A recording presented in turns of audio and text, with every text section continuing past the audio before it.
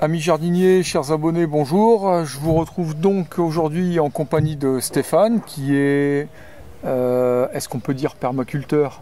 Oui, jardinier permaculteur. Jardinier permaculteur, voilà, on va prendre ce terme-là. Euh, l'idée étant, euh, comme je, l'avais évoqué précédemment, d'expliquer qu'il est possible effectivement de se faire euh, accompagner lorsqu'on souhaite intégrer la permaculture dans, sa manière de vivre, notamment au niveau des espaces extérieurs, des potagers ou jardins d'ornement, ou en mixant les deux, pourquoi pas. et donc je trouvé vraiment intéressant de faire un petit focus sur l'activité de Stéphane et puis d'essayer de, voir un peu ensemble de, quelle manière il était possible de mettre en application ces principes permacole euh, euh, pour soi d'abord et puis aussi euh, à disposition donc d'un autre public, hein, voilà, de publics différents d'ailleurs si, j'ai bien compris. Hein. Donc Stéphane, peut-être que dans un premier temps, tu peux nous expliquer un petit peu quel est ton parcours euh, voilà, passé, hein, de, la formation notamment, ton parcours professionnel. De quelle manière est-ce que tu es arrivé aujourd'hui à développer ça Ouais, ça marche. Alors, euh, moi initialement, je suis euh, ingénieur en agriculture agroalimentaire environnement. Euh, j'ai travaillé dans l'industrie, dans l'industrie pendant 10 ans euh, en tant que responsable qualité, sécurité, environnement. Mhm. Donc j'avais déjà cette envie, en tout cas, de défendre des valeurs humaines et environnementales mhm. au sein des industries. Après une dizaine d'années un petit peu difficiles euh, pour faire passer ces messages-là, j'ai voulu me réorienter, changer vraiment mon fusil d'épaule, on va dire, en me disant c'est difficile de faire bouger les choses euh, au niveau industriel. Euh, je vais aller euh, directement taper à la porte des gens et puis discuter ça au plus proche des gens en fait. Voilà un petit peu l'idée. D'accord. Donc du coup, en parallèle en fait, en 2016 rencontre avec la permaculture. Donc en même temps, et je quitte mon travail et je me forme à la permaculture. Donc avec l'association L'air des Pichoulis à Hérin, à côté de Seclin. Euh, j'enchaîne euh, donc ça au mois de juillet. Quelques mois plus tard, euh, je commence ma, ma formation aménagement paysager avec toi entre autres. Ah oui, c'est vrai. et avec une idée vraiment de développer du jardin. Moi, j'en fais depuis que je suis euh, jeune, ado. Euh, j'ai pas mal jardiné avec mes grands-parents. Et euh, donc, cette envie de développer des jardins à la fois ornementaux, d'allier l'ornemental et le nourricier. Et de montrer qu'on peut faire quelque chose de beau, de, qui, qui permet de se nourrir et qui permet aussi de redévelopper de la biodiversité dans les jardins. Donc ça, c'était vraiment l'idée de base. Euh, en parallèle, je me forme euh, à la production de semences. Euh, là, je suis en train de faire une formation en apiculture, donc j'essaye aussi d'augmenter mon champ d'application et, de me former en continu.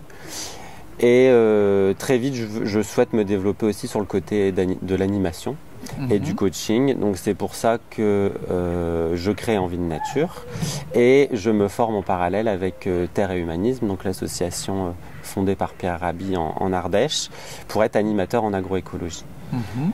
Et donc là maintenant, je suis vraiment dans une activité euh, à la fois d'entretien de jardin, de création et beaucoup d'animation.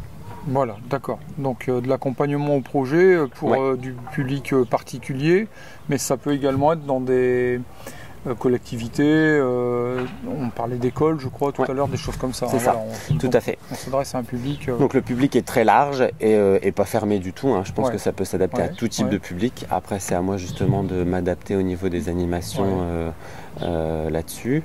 Euh, donc en effet, euh, j'interviens aujourd'hui dans, plusieurs écoles, que ce soit maternelle, primaire. Je pense que ça serait intéressant de développer ça en collège-lycée également. Bien sûr.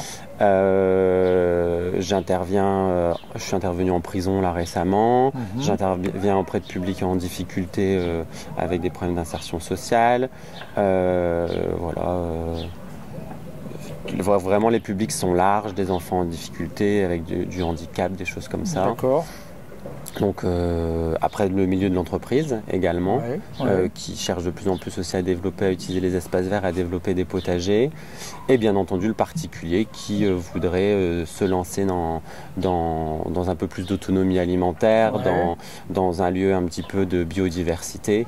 on en parlait également tout à l'heure, le jardin est aujourd'hui refuge LPO et l'idée c'est aussi de, d'accompagner les gens dans ce genre de, dans ce genre de, de, de process, de comment voilà créer un jardin euh, refuge, LPO. Euh, j'ai des gens qui ont des magnifiques arbres, on essaye de les faire classer en arbres remarquables. Voilà, j'ai une vraie envie de développer ce côté-là. D'accord. Donc euh, le jardin, effectivement, donc ton jardin dans lequel on se trouve mhm. est un refuge euh, LPO euh, officiellement maintenant. la démarche pour, pour en arriver là, c'est compliqué, c'est simple Non, non, c'est très simple. Il y a juste un petit formulaire à compléter, que, ce soit en ligne ou sur papier, dans lequel on a quelques, quelques questions sur comment est le jardin aujourd'hui. L'idée, c'est déjà d'avoir en place des, des, gîtes, des nichoirs, des, des haies, des points d'eau éventuellement. On n'est pas obligé de tout avoir. Après, l'idée aussi, c'est d'être dans la démarche. Donc, euh, même si on a commencé. Euh, voilà, d'accord. Et en quelques semaines, euh, on, est, on reçoit le petit panneau refuge LPO. On a un petit nichoir à mésange. Et puis, bon, on très bien. C'est le début de quelque chose. Voilà. Mhm. Très bien. bien évidemment, le, les coordonnées de Stéphane, de la LPO, etc. seront disponibles sous la vidéo, hein, dans la description, comme, comme on le fait dans ces cas-là. Très bien.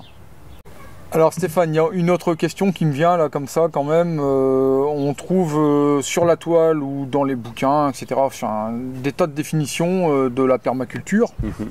qui, qui, se rejoignent hein, plus, plus, ou moins quand même toutes. Ça m'intéresse d'avoir la tienne. Quelle, est selon toi, comment est-ce qu'on peut définir la permaculture? Alors c'est vrai qu'il y a autant de, permaculture que de permaculteurs, comme il y a autant de jardiniers, euh, de, façons de jardiner que de jardiniers. Hein. Euh, moi, ce que j'aime bien voir dans la permaculture, c'est que la définition que je donnerais, c'est c'est que c'est quelque chose de large qui ne s'arrête pas déjà au jardin, hein, qui mhm. peut s'intégrer à tous les domaines de, la vie. Mhm.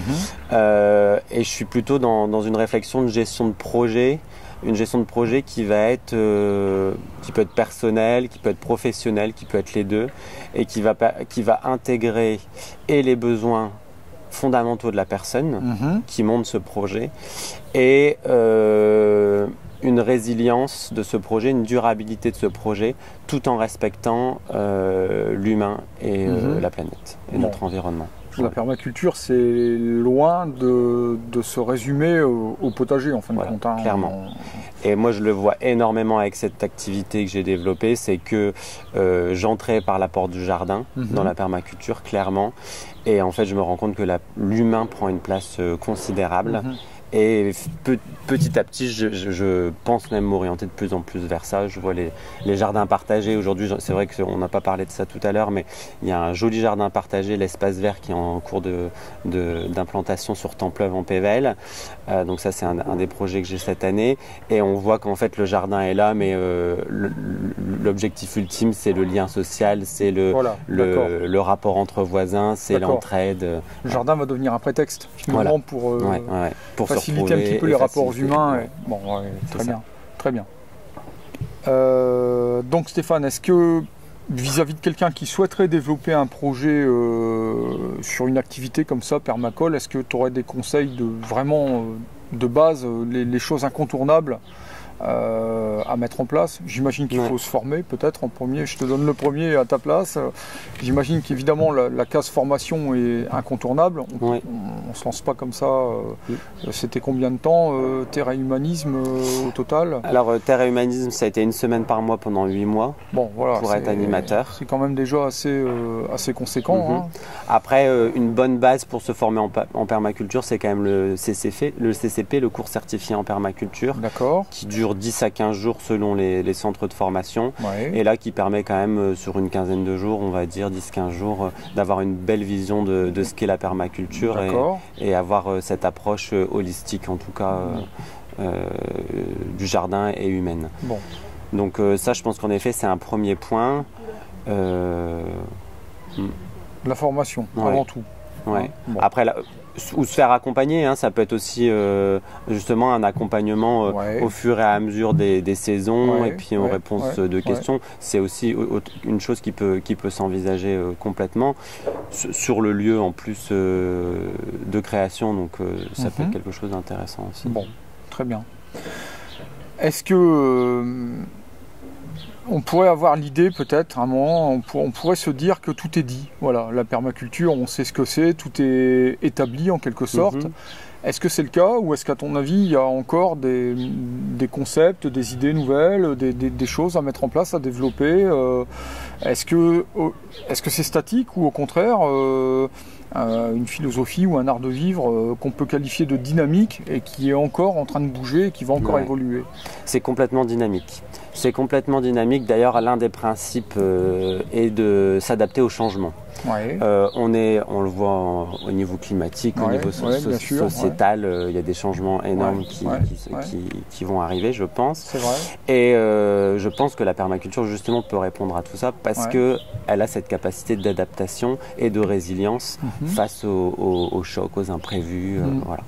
Donc non, je pense que puis on voit que l'humain est capable d'inventer des choses quand même merveilleuse aussi. Donc euh, euh, il y a encore, on a au niveau aussi euh, naturel beaucoup de choses à découvrir. Hein, quand mhm. on voit, comme peuvent le dire les Bourguignons, le peu de pourcentage qu'on connaît du sol, ce genre de choses. Je pense qu'il y a encore énormément aussi de choses à découvrir. donc non, je pense que c'est pour ça aussi que je suis dans cette dans cette continuité de formation en continu, mais je pense que c'est on a, on a, toute la vie pour se former comme ça. Tout à fait, tout à fait. Euh, et c'est pour ça aussi que je favorise beaucoup l'échange, euh, le côté humain dans parce qu'il y a du partage. Moi, j'apprends tous les jours des gens euh, avec qui mhm. je travaille, mhm. et on est loin de tout savoir. Et donc, je pense que c'est ça aussi qu'il faut développer. Beaucoup apprennent sur Internet, dans les bouquins, je pense que c'est une super bonne base, mais ça, ça ne remplacera jamais le côté euh, de l'échange humain et, de l'apport que ça peut faire. Clairement, on, est, on, est, bien d'accord. J'ai eu la chance il y, a, quelques minutes de parcourir avec toi ton, ton jardin, hein, cet espace euh, euh, enfin, à plus d'un titre, à plus d'un titre remarquable. Est-ce que tu es d'accord pour nous refaire une visite, mais commentée par tes soins cette fois. Et puis, euh, puisque c'est un espace qui accueille également des. Hein, tu accueilles une partie de ton public, euh, des gens, tu me disais tout à l'heure, qui ont qui ont aussi envie de se projeter, de voir un peu ce que ça peut donner, euh, mhm. voilà, ces principes-là appliqués à un terrain quelques années après. C'est ça. Euh, bah voilà, je vous propose donc de nous suivre, euh, de suivre Stéphane plutôt. Hein. Pour le coup, je, serai derrière la caméra et puis qui va pouvoir nous expliquer un petit peu comment son, comment son espace fonctionne. C'est une belle démonstration aussi de, de l'occupation euh, au maximum hein, d'un espace qui n'est pas forcément très grand euh, et qui pourtant est bon euh, nourricier d'une part et puis qui répond aussi à, d'autres aspects qu'on peut attendre d'un jardin. Hein, on n'attend pas seulement de se faire nourrir de la part du jardin. Voilà, on est ici sur un, endroit ici plutôt réservé à l'agrément par exemple. Mmh. Et c'est vrai que tout, tout ça se, se mixe euh, merveilleusement bien sur cet espace. On regarde ça ensemble. Allons-y. Voilà. Donc voilà le jardin, euh, donc qui est en place depuis une petite dizaine d'années maintenant. Et il faut imaginer qu'initialement c'était juste un, gazon. Donc euh, je vous en prie, suivez-moi. Donc la petite pancarte ici LPO, hein, on en a parlé tout à l'heure. Voilà. Et donc une première partie qui était euh, relativement ornementale euh, initialement et puis qui petit à petit euh, reçoit également du légume. Donc on voit des tomates, du maïs, des courges, des courgettes qui arrivent. L'idée sur un petit jardin comme ça, c'est d'utiliser beaucoup la verticalité. Donc vous verrez, bah, il y a beaucoup de structures pour augmenter la surface de, culture. On le voit dès à présent là avec cette première structure où les haricots à rame viennent pousser, ou les capucines sur, sur le plessis.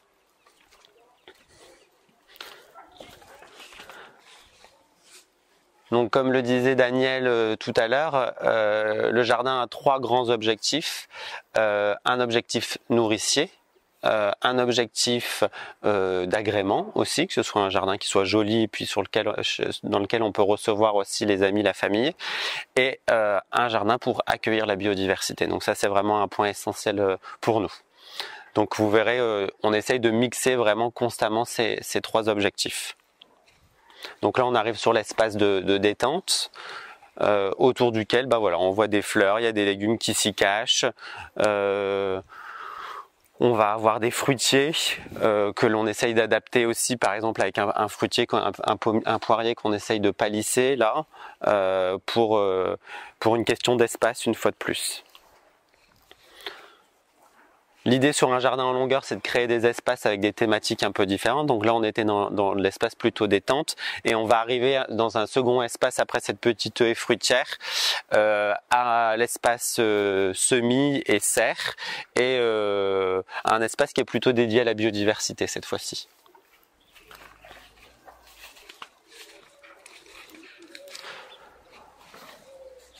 Donc là ici on peut voir un espace qui est plutôt euh, laissé libre. Le gazon n'est pas tondu. Euh, on voit depuis euh, que l'on fait ça qu'on accueille beaucoup plus d'insectes, des, petites sauterelles, des, choses comme ça. Là un pied de consoude qui a clairement trouvé sa place et qu'on a déjà dû tailler à plusieurs reprises. donc voilà, on essaye aussi de développer les, plantes, les plantes sauvages pour s'en nourrir et puis aussi pour les utiliser au jardin. On connaît bien les extraits fermentés de, de consoude ou d'ortie. Ici, on a une petite mare hein, qui, euh, qui accueille euh, aujourd'hui euh, pas mal de biodiversité. on voyait tout à l'heure la grenouille qui pourtant a disparu là maintenant. On a des tritons. Voilà, il y a plusieurs crapauds aussi qui sont arrivés dans le jardin.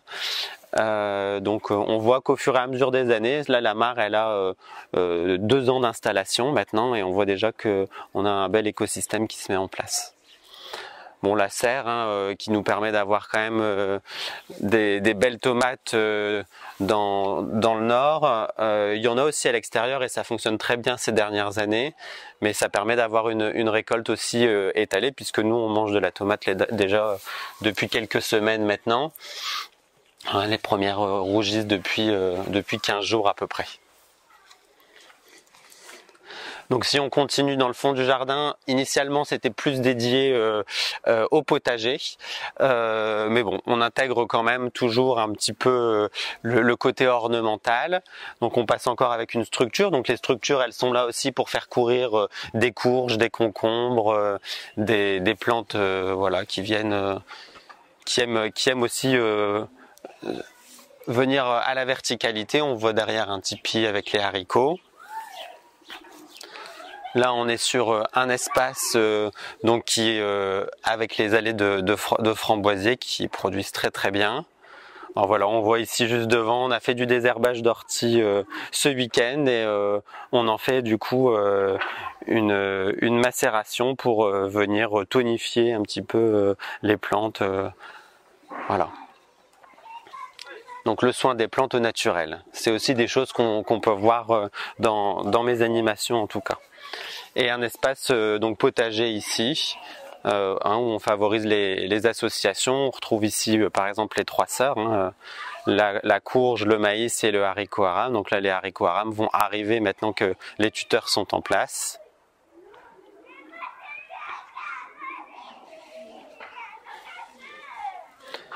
Et tout au fond, on retrouve le mûrier, l'espace compost et rangement et le poulailler. Euh, donc euh, un élément, une fonction, plusieurs fonctions et une fonction pour euh, en permaculture, on parle beaucoup de ça. Euh, on voit que le poulailler est à la fois une structure qui va accueillir euh, les tomates, un kiwi est en train de pousser aussi au-dessus de l'autre côté. Donc voilà, c'est aussi des choses qu'on essaye de développer, que un élément réponde à plusieurs fonctions et que une fonction soit reprise dans plusieurs lieux du jardin. Voilà.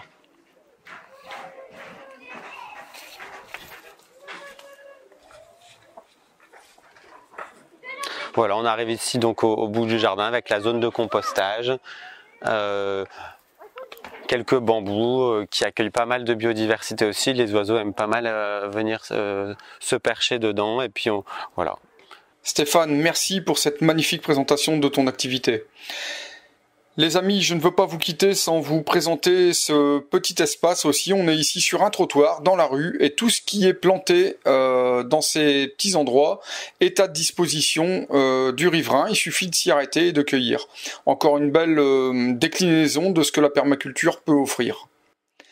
C'est terminé pour aujourd'hui, et je vous donne rendez-vous à très bientôt au potager qui dit non. Ciao ciao